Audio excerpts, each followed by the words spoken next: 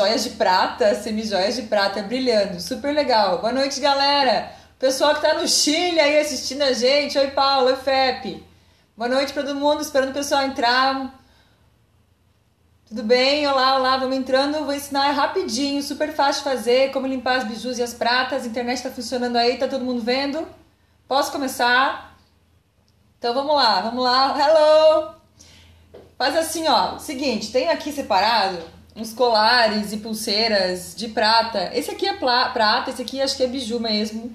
Mas mesmo a biju, às vezes ela é banhada em prata ou em zinco, que é um material que também funciona. Hello! Oi pra quem tá chegando! Vamos ensinar a limpar as bijus e as pratas aqui hoje no Gambiarra Ninja.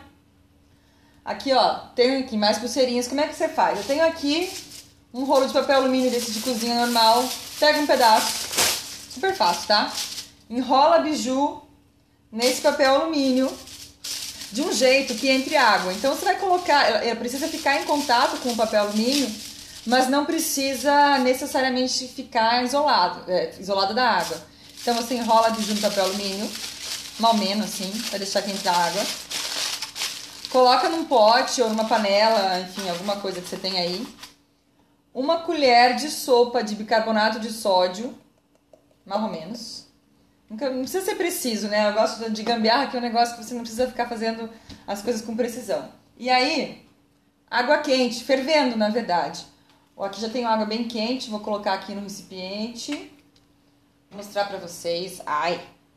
Ó lá. Sopinha de bijuteria, né? Bonito. Você deixa aqui rapidinho, assim, tipo 3, 4 minutinhos. O que acontece? A prata enferruja, perde o brilho e tal. Quando você coloca ela com bicarbonato de sódio, a ferrugem, a sujeira, toda a parte preta vai parar no papel alumínio. É o mesmo princípio que eles usam, por exemplo, em navios, que eles chamam de metal de sacrifício. Você pode reparar no casco do navio, às vezes tem um metalzinho soldado no casco do navio. Porque o que acontece? Esse metal que eles colocam, que é o metal de sacrifício, ele vai acabar oxidando mais do que o ferro, então vai evitar que o ferro enferruje. Funciona para todas as coisas que enferrujam. Enrola o papel alumínio, mistura com bicarbonato de sódio, coloca na água quente e espera um pouquinho. Fica brilhando.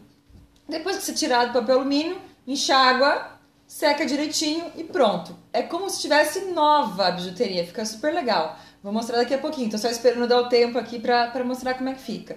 Se for dourado, o ouro não funciona.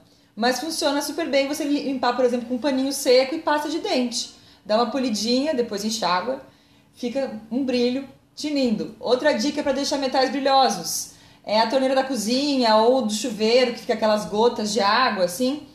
Corta o limão no meio, esfrega o limão no metal da torneira, do chuveiro e limpa depois. Fica novinho para impressionar as visitas, deixar a casa tinindo. Vamos ver se está pronto? Vou pegar aqui um pegador de macarrão, porque eu não quero queimar meu dedo. Já cortei o rosto essa semana, não tô afim de cortar, de queimar o dedo. Tirando da água quente. Ah, vou abrir aqui para mostrar, hein? Bijuterias limpas como mágica. Olha, o papel alumínio fica todo preto, porque a ferrugem do, da prata vai parar no alumínio. É muito engraçado. Aqui vou abrir. Pescar a biju aqui. Olha lá. Ó, como brilha. Que maravilha. Simples e prático. Agora é só enxaguar e secar e tá limpinho. Gambiarra joia, né? Olha aí, meninas, presta atenção, hein? Cinco minutos, todas as pratas brilhando como nunca. Legal? Gostaram da gambiarra? Semana que vem tem mais. Se tiver alguma sugestão, algum comentário, tvnomad.com. Tô esperando vocês. Valeu, galera. Até mais.